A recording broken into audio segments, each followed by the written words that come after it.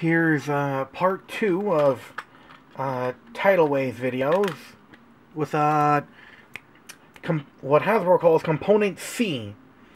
Uh, it's a weird looking submarine destroyer mix, so yeah, uh, right here is where the missiles would be, but I lost them a long time ago. First thing to get lost. Most expensive thing to replace. Oh, uh, along with ramjets.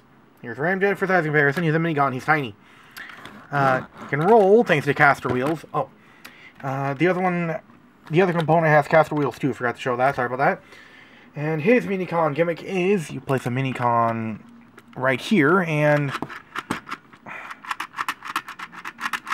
uh, these turrets and uh, uh, well, these uh, turrets and uh, AA cannons move.